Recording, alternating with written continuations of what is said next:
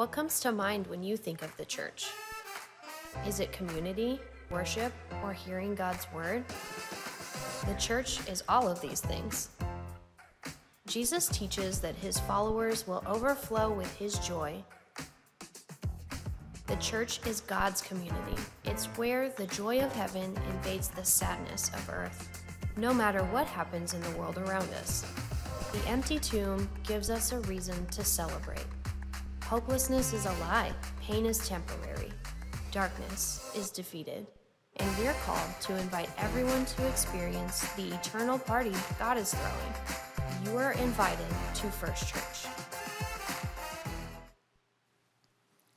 Well, hey, welcome to First Church. So glad you are joining us, whether you're here on site or online. I just looked and I saw that we have Doug and Sheila in Minnesota who are joining us online, as well as Tyler and Tara who are in Germany. So, welcome you guys, as well as everyone else who happens to be in the internet world right now watching us. We're glad that you're joining us for worship, and it's also good to see you guys as well. Looks like we have a great crowd here on site. And if you are here on site, would you put your hands together and welcome in our online family? Let them know we're glad that they're joining us.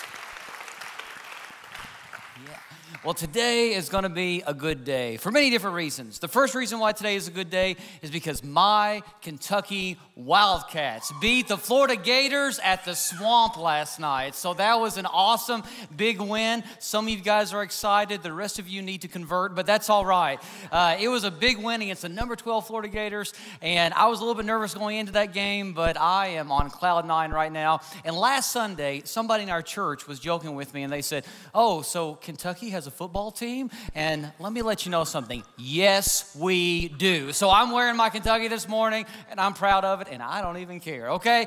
Now, the second reason why today is a good day is because our executive minister, Matt Thomas, and you all know him, Matt and Steph, for the first time this weekend, are grandparents. And so we're excited for them.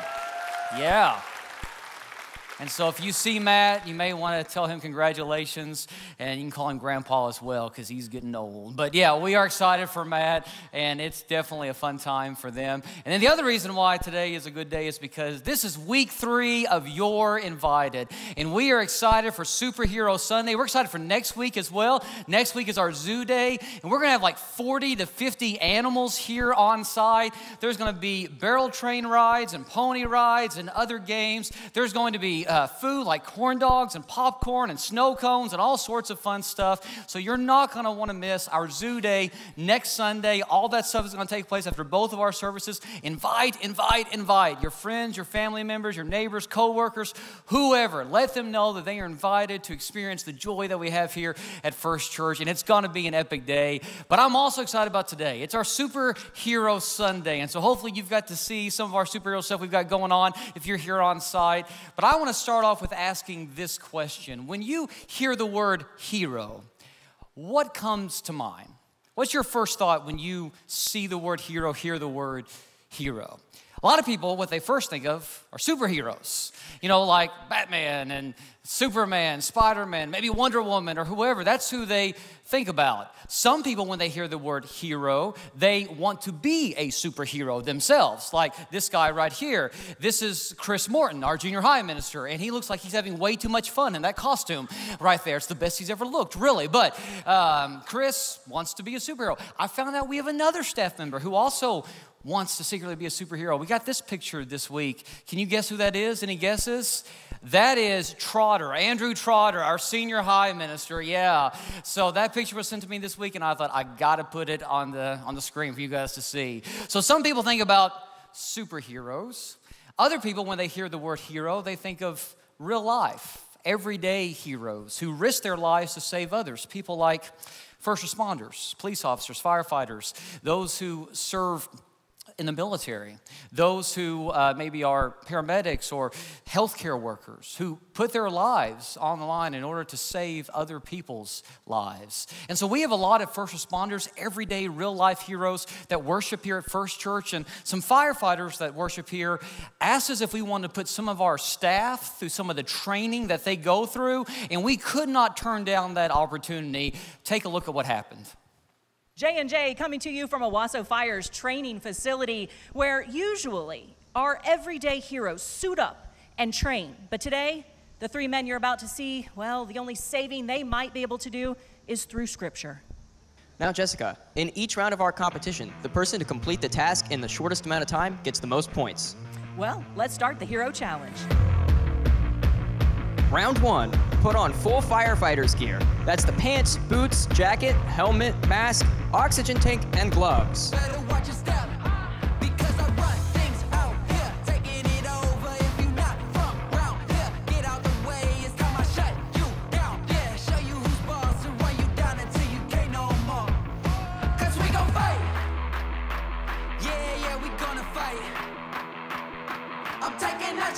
End of round one. Not surprising. Nathan, father of six, with that win. He's used to the dressing and undressing of the kids. Oh. His kids. Yeah. Yeah. Round two, pull the hose past the line, climb to the top of the building, rescue the dummy, and safely get yourself and the dummy out of the building.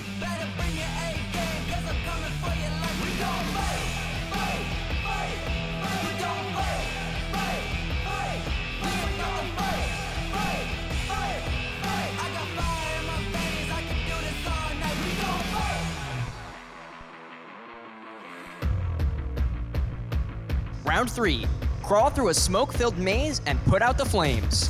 Very, very tight spaces for them to get through. Thermal camera footage showing Zeb excelling in this round. However, Nathan, ooh, he's struggling.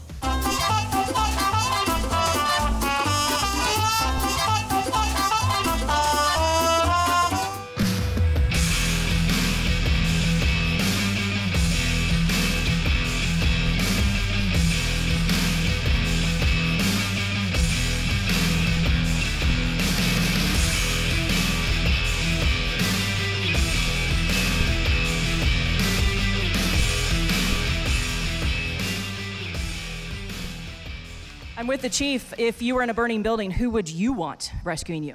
The only one I would want rescuing me would be Trotter, not Zeb. Maybe Nathan, but not really. Yeah, that was great. Yeah, you can clap for that. You know, it makes me personally appreciate those who are actually trained to do that kind of stuff even more. After seeing our guys go through it, I'm glad we have those who actually know what they're doing, who put their lives on the line in order to rescue guys like me and people like you. So maybe when you hear the word hero, you think about an everyday real life hero like first responders. Maybe think about those who, on this day, 21 years ago, 9 11, ran into the World Trade Centers as those buildings were on fire and getting ready to crumble, and they risked their lives to save others. Maybe you think of someone else. Maybe what comes to mind is, you know, a family member or a friend or a neighbor, somebody who made sacrifices for you and your family so that you could have what you have today or be who you are today. And that's a hero for you. There's a lot of different images that can pop into our minds when we hear the word hero. And I think it's a good question to ask what do you think of when you hear the word hero? But I think an even better question for us to ask is this one right here Who's the ultimate hero of your story? Because whether you realize it or not, we are all in need of a hero. We all need someone to rescue us outside of ourselves.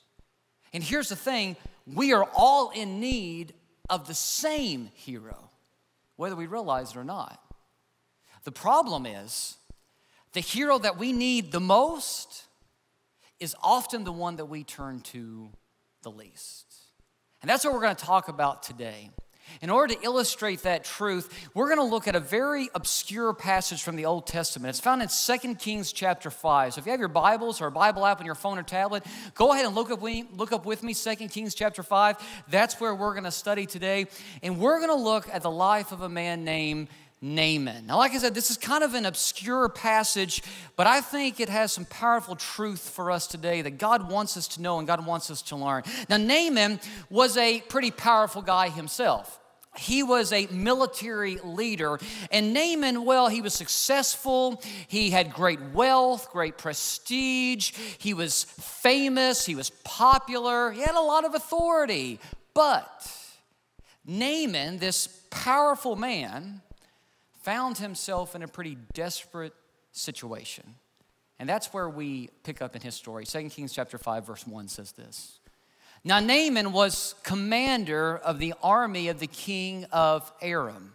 He was a great man. Say those three words with me in green. He was a great man. Good, you guys are awake. Awesome. He was a great man in the sight of his master, the king of Aram, and highly regarded.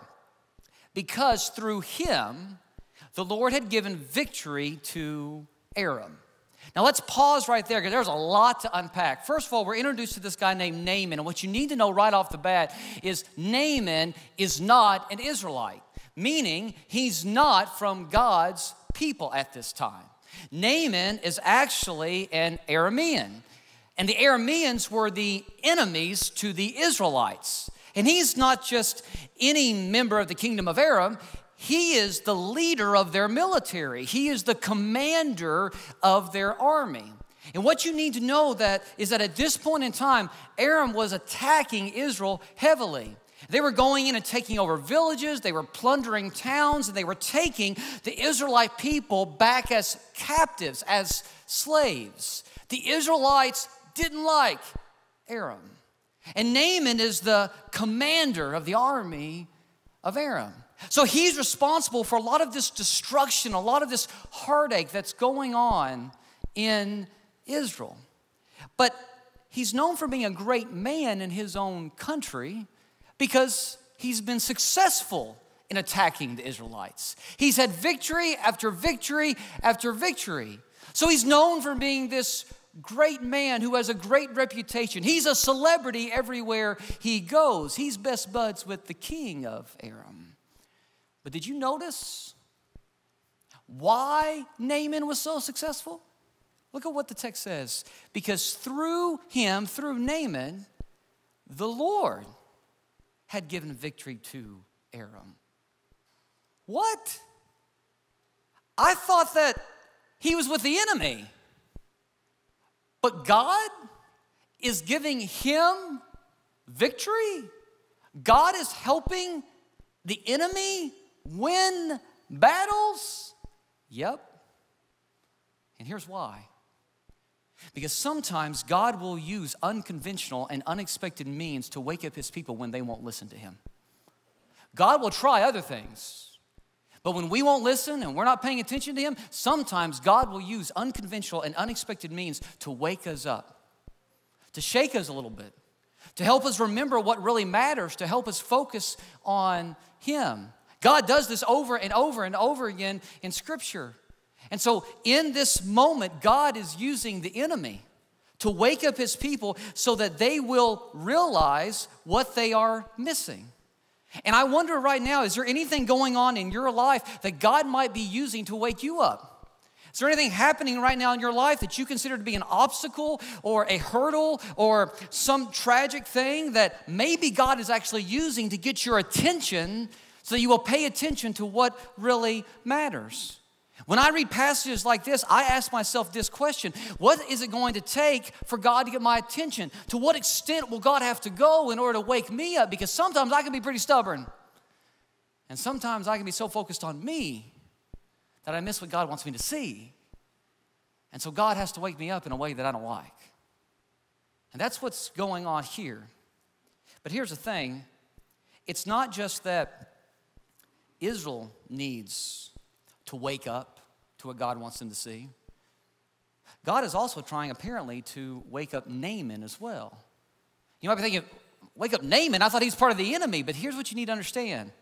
Yes, Israel in this day and age was God's chosen people, but being God's chosen people did not mean that they were the only people that God wanted to save. They were chosen for a purpose, and that purpose was to go out and tell all nations, all people throughout the world about their God. Because God loves everyone, not just the Israelites, He loves all people everywhere. And the purpose of Israel was to be a light to the rest of the nations so that they would come and know God. Israel missed that sometimes. But you see, God still loves Naaman. Naaman might be from a pagan country. But he still loves Naaman, and I think he's trying to wake up Naaman here as well. And here's why. Look at what the passage says it says, He was a valiant soldier, but he had leprosy. He was a great man, but He was successful, but. He was wealthy, but. He was famous, but. You see, there's always a but. Maybe I can say that a little bit nicer. There's always an however, okay? There's always more to the story.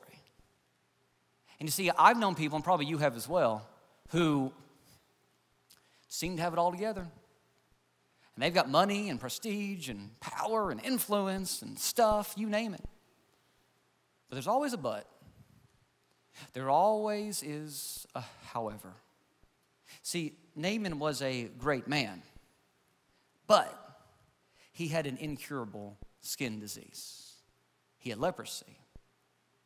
And this was very tragic because in this day and age, it was miserable if you had leprosy.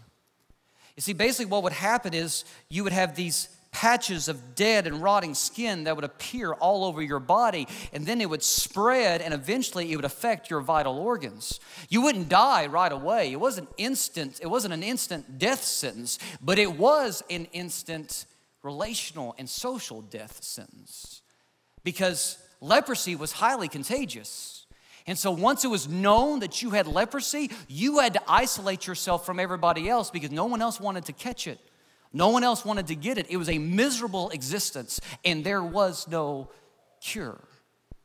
But here's the thing we find out in the text that Naaman, even though he knows he has leprosy, is still serving as the commander of the army. How's that? Shouldn't he be in isolation right now? He knows it.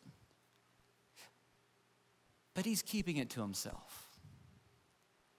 It's not well known yet, it's just started. And Naaman doesn't know what to do. He finds himself in a very desperate situation. See, I think what's going on is he's concealing this issue that he's dealing with, which is what great men do. Because great men don't like to admit when they're not great. And the same is true for us if we're being honest. Great men and great women don't like to admit when they're not great. We want to act like we have it all together. We want to act like we're in control. We want to act like we're calling the shots. We want to cover up any issues we might be dealing with until we can't cover it up anymore. And that's what happens here. See, word starts to spread that Naaman has leprosy. And it first spreads within his own household. And there's this servant girl who serves Naaman's wife who finds out that her master has leprosy. And let's read on in the story. It says, Now bands from Aram had gone out and had taken captive a young girl from Israel. And she served Naaman's wife. She said to her mistress, If only my master would see the prophet, God's prophet in Israel, who is in Samaria, he would cure him of his leprosy. So, what I want you to get here, I want you to understand is that Naaman's wife has a servant girl who's from where? Israel. Why is she from Israel? Remember what's been going on here. Naaman and the army of Aram have been attacking Israelite villages over and over again, plundering them, destroying them, and taking the people back as captives, as slaves. And now, one of those captives is a young girl from Israel who is serving in the very house of the man who is most responsible for all the destruction that's been caused in this girl's life. She's serving the wife of a man who has attacked her people over and over again, a man who has uprooted her from her home, taken her away from her family, robbed her of everything she had her hopes, her dreams, everything. And now she's serving in his household, she's serving his wife. Now, here's the thing if I was in this servant girl's shoes, I might be tempted when I heard that Naaman had leprosy to say, Oh, well, that's what he deserves. That's what he gets. It's the judgment of God at its best. Now, you guys can shake your heads at me, but you all would do the same thing. I mean, don't act like that you're holier than I am. We all would think that at first, right? But that's not how this girl responds. She doesn't say, oh, well, you know, serves him right. Do you notice what she says? If only my master Naaman would see the prophet who's in Israel, who is in Samaria, he would cure him of his leprosy. This girl wants to help out Naaman. Why? He's taken everything from her. Why? Because she is living for God's bigger plan. She may have had everything taken from her. She may not understand why she's going through what she's going through. She may not like the situation that she's currently in, but she knows one thing God is still God, and He still has a plan for His world. And so she's gonna trust in God's plan, even when it looks like everything is going against her. Because here's the thing the true test of, of our faith the true test of our faith is not how we will respond when we have all of our questions answered. The true test of our faith is how will we respond when all we have is unanswered questions. And this young girl, she has a whole lot of unanswered questions. She has no idea why she's going through what she's going through. But she knows one thing that if Naaman, this powerful man, can stand before the prophet of God, then maybe the prophet of God can change his life. The prophet in Israel at this time is a man named Elisha. I like Elisha a whole lot. In fact, I've been studying his life the past couple months in great detail. And I haven't really done an in depth study on Elisha in my entire life until just recently. And you can ask our staff, you could ask our elders, because I lead devotions and staff meetings and elder, elders meetings all the time. And I've been talking about Elisha for like two months. They're probably sick of me talking about Elisha, honestly. But I don't think Elisha gets enough airtime in church because he did a lot of incredible things that God asked him to do. And he had a great ministry during a really rough period in Israel's history. So I'm going to talk about him today. And the reason why I wanted to talk about him today is because God uses him to wake up a man who thought he was the hero of his own story so that that man could realize he needed a better hero. See, this girl says, if you go see Elisha, God's prophet, who God has done miracles through over and over and over again, he could possibly cure you. Because this girl wants to use this as an opportunity to do God's greater work. See, God uses our obstacles as opportunities to carry out His greater plan. And so when you do face an obstacle or a barrier or you hit a wall in life, don't just get frustrated at your circumstance, but ask yourself, how does God want to use this moment? How does God want to use this in order to carry out His bigger plan? Because God often uses what we consider small to wake us up to his greater truth. And before this moment, Naaman probably saw this little servant girl as somebody insignificant, somebody who didn't matter, someone very small in his great mind. But God uses what we consider to be small to wake us up to his greater truth. And is there a small voice in your life right now? A small little factor, a small little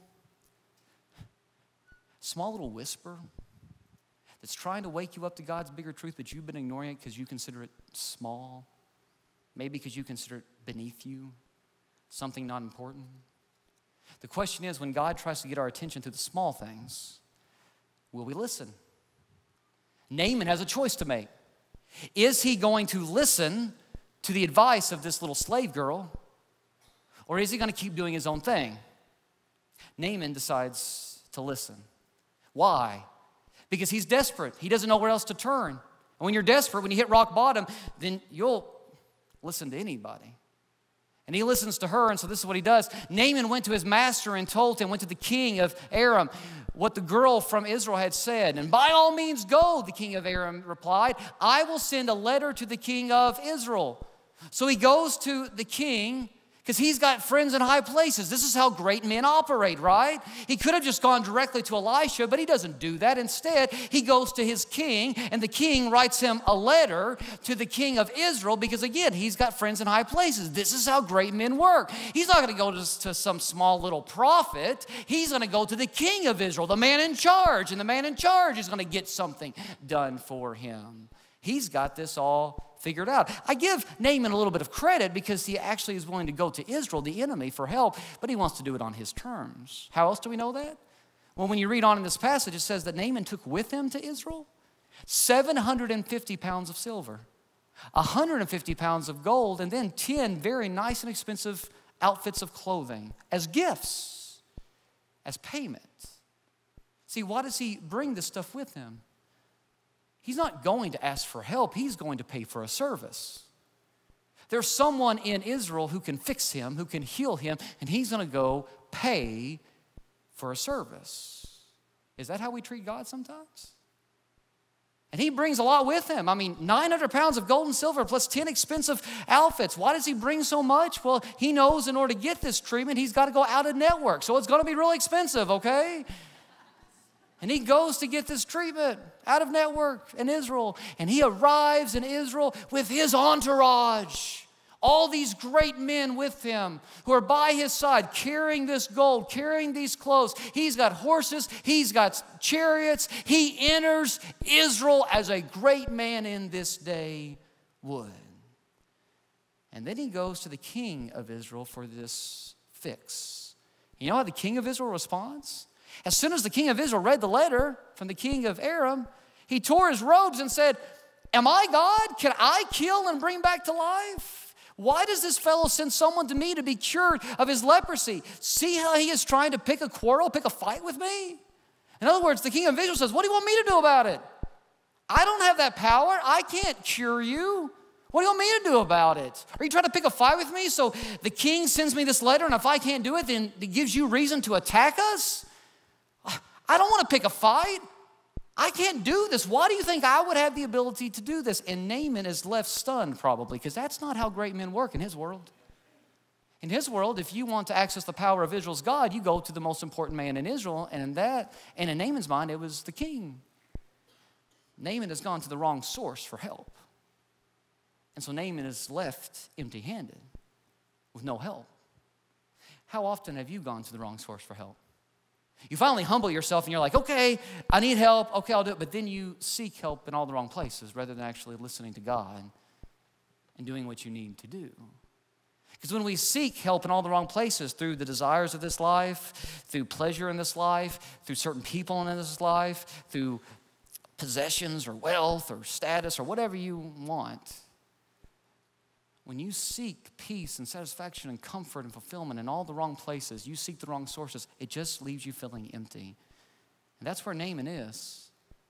And Naaman doesn't know what to do now. He's traveled all this way, and the king of Israel says, I can't help you. But Elisha the prophet hears about what's going on, and he sends word to the king and says, Send that guy over here. He should have come and seen me in the first place. And look at what happens says, So Naaman went with his horses and chariots, his entourage, and he stopped at the door of Elisha's house.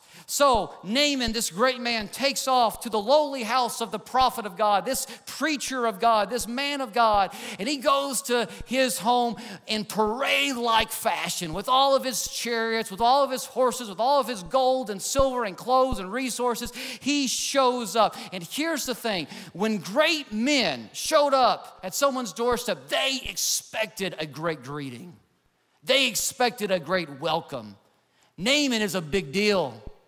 And he knows he's a big deal, and he wants people to treat him like he's a big deal. But he arrives on Elisha's doorstep, and Elisha doesn't even leave his couch to go greet him. Elisha just stays put and sends one of his servants and says, uh, Go there and tell Naaman what he needs to do. Doesn't even meet him face to face. Look at what it says. It says Elisha sent a messenger to say to him, to Naaman, Go wash yourself seven times in the Jordan, and your flesh will be restored, and you will be cleansed. That's it. And Naaman is ticked because he expected for the prophet to come out and greet him properly. He expected the prophet to treat him like he was a big deal.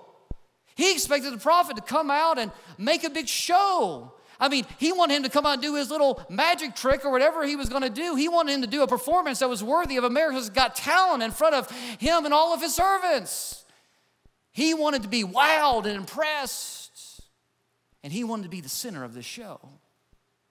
And instead, Elisha just stays on his couch and tells one of his servants, Go out and tell him to go dip in the Jordan River seven times, and he'll be cleansed. Now, what's interesting to me is that I don't think Elisha is being a jerk here. I don't think Elisha is trying to be disrespectful here. I think Elisha is trying to help Naaman realize who he really needs. To wake Naaman up, to humble Naaman, because Naaman needs to be humbled. Several years ago, when my son Alex was, I don't know, four years old or so, he was at his grandparents' house, my in law's house, and they were carrying in some groceries. And he wanted to help, as little kids often do. And so he grabbed a gallon of milk and wanted to carry it in the house from the garage. And Allison, my wife, was there, and she said, No, no, no, no, that's too heavy for you. And she tried to grab it, and he pulled back, and he said, Mommy, I got this. She's like, No, you don't. Here, let me help you. And she said again, He says, No, I got this. And about that time, you know, the grandparents who were sitting there, my in laws, said, Oh, let him carry it. He'll be fine. He says he's got it. That's what grandparents do. They just let grandkids get by with murder, you know. They just let their grandkids do whatever they want to do. They've never let their kids get by with that kind of stuff, but they let grandkids get by it, get by with it. And so Alex tries to carry the big jug of milk, and he went so far, and then he lost it. He dropped it, fell on the floor, and it busted, and milk went all over the garage floor and all over him.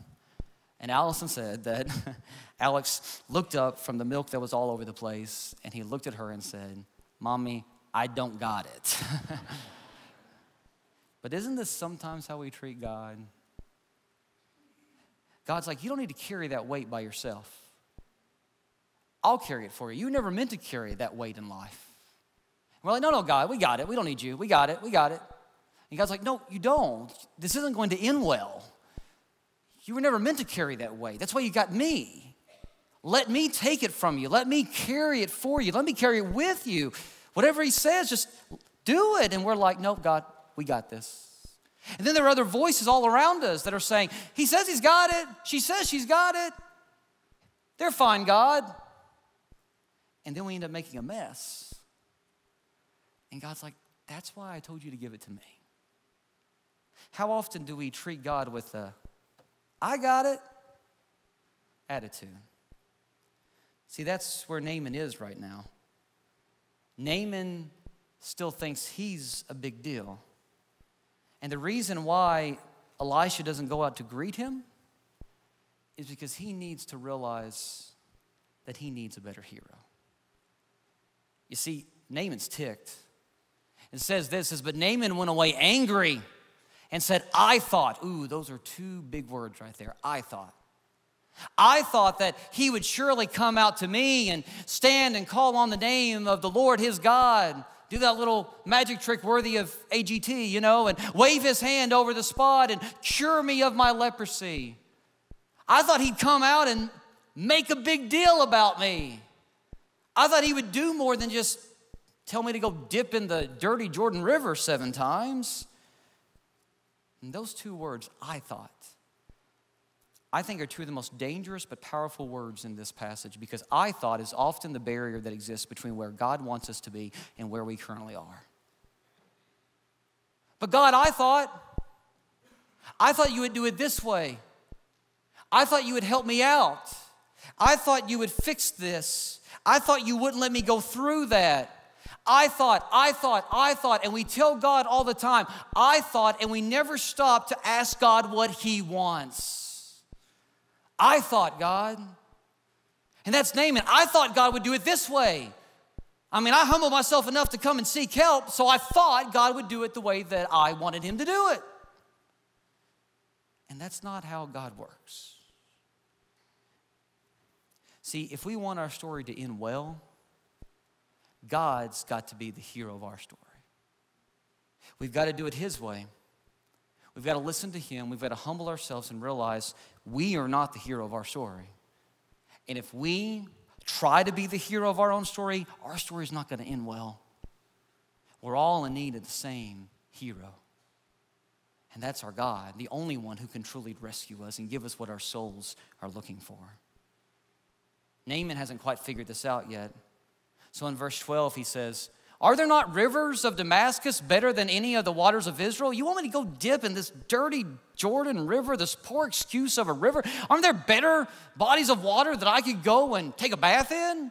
Couldn't I wash in them and be cleansed? So he turned and he went off in a rage.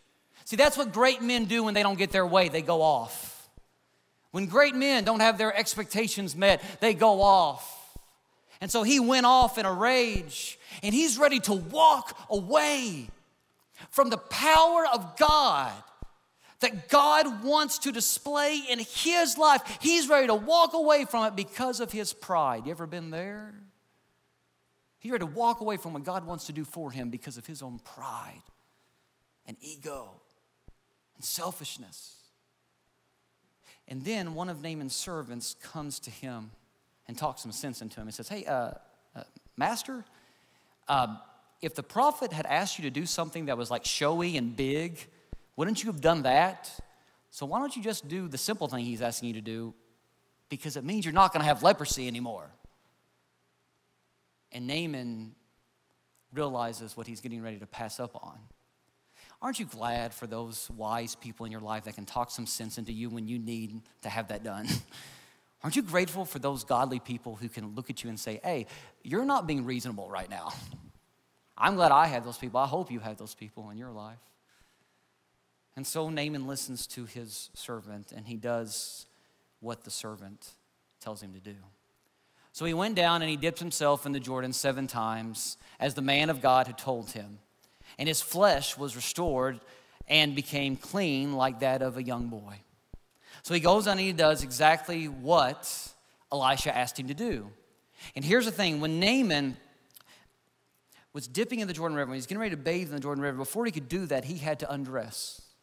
He had to take off all of his armor, he had to take off all of his clothes. And he stood before all of his servants, his entourage, exposed, which is what he wanted to avoid. He wasn't just exposed in the sense that he was naked, but he was exposed because now everybody could see those leprous spots on him. And I wonder if some of his servants weren't looking at him and saying, Oh, it's worse than we thought. He's fully exposed. He thought he could hide his problem, his issues, but now he's exposed. And here's a truth that I've learned the hard way in my life. But God can't heal what I hide. And God can't heal what you hide. If we're going to receive the life that God created us to live and wants us to live, then we've got to be willing to offer it all to Him, to be fully exposed before Him. And so Naaman does what God says. He goes down into the Jordan River and he dips seven times. And I want you to imagine what's going on probably in Naaman's head. He dips in the water the first time, nothing happens. Because remember, the prophet said it's going to take seven times. So he does it a second time, nothing happens. Third time, nothing happens. Fourth time, nothing happens. Fifth time, nothing happens. And Naaman is probably thinking, this is crazy. This is nuts. Why am I doing this? But he keeps on going and he does what God asks him to do. Because here's the thing faith is trusting that God is God and I am not. And here, Naaman realizes this is out of his control. He's desperate, he's got nothing left.